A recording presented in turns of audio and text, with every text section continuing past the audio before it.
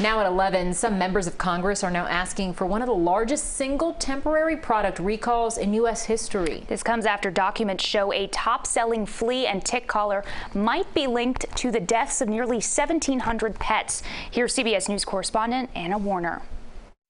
Alex Yeager and his mom Eleanor say oh, two months after they put a Seresto collar on their golden retriever Blake, he developed seizures like this one. His whole body.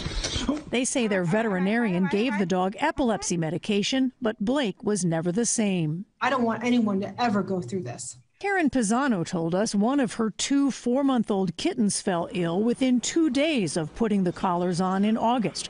Orange tabby Oscar's legs began twitching. And that's when I became extremely alarmed.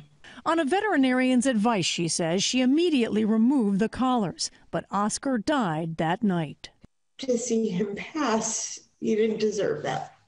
Seresto collars contain two different pesticides designed to ward off fleas and ticks. Retailer Elanco says the collars are safe. But government documents obtained by a nonprofit group show since Seresto collars were introduced in 2012, more than 75,000 incidents have been reported to the EPA, ranging from skin irritation to seizures, plus nearly 1,700 pet deaths. Um, Senior scientist Nathan Donley. The, the biggest thing that stuck out to me was just how high these numbers are. Elanco disputes that, saying the incident report rate in the U.S. has been below 0.3%, and the majority relate to non serious effects such as skin problems. A company official said that a report is not an indication of cause, and said there's no established link between exposure to the active ingredients in Seresto and pet deaths.